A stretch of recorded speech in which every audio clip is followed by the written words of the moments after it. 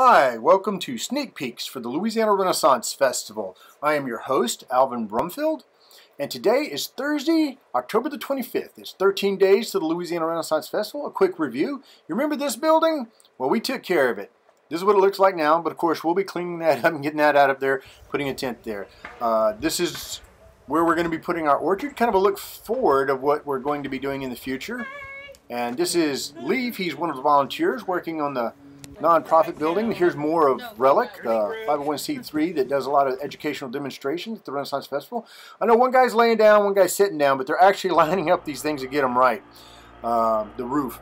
This is uh, more of our sign making. I just included this because when you see how slow it goes, because I have to go over each one of these letters like a dozen times to get it right.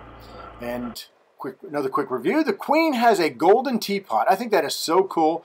And also, the popular question, yes, the Mad Hatter will be at the Fairy Tea on the 27th. This guy on the left, Willie, uh, we, got, we have kind of a warning, November 7th and 8th, there's, it's rumored that he's going to be out at the Renaissance Festival hanging out with babies and young fairies and oh, oh um, other fairies that aren't so young, um, even women. He's been seen to hang out with, with men, or, well, knights anyway, and men and women at the same time, but he's a poser. He's a complete poser. He's pretending to be things he's not.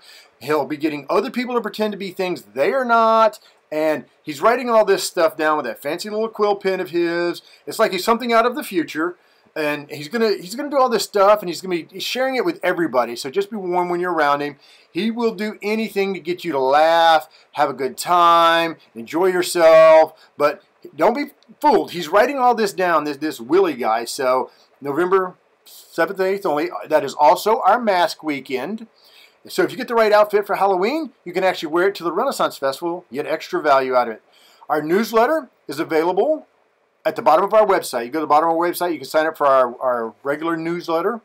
And that wraps up the Louisiana Renaissance Festival sneak peeks for October 25th. Have a great day.